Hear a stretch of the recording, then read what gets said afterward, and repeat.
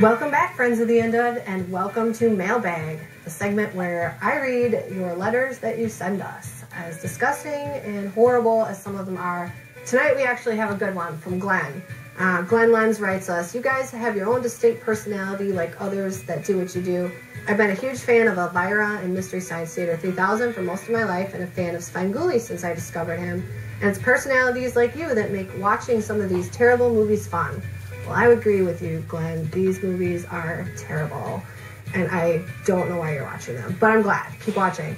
One, and he goes on, one thing I really appreciate is people like you help keep old film alive and to me, that's really important in this day and age. My son is only six and still scared of horror movies, but he usually stays up to see what you have to say before the main scary event. Hi, Glen, son.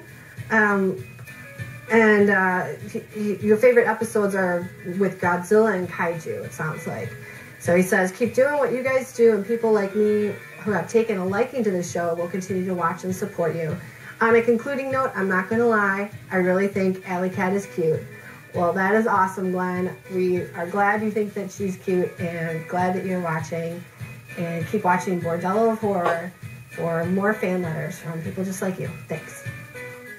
Well, now I'm going to tell you something you don't know.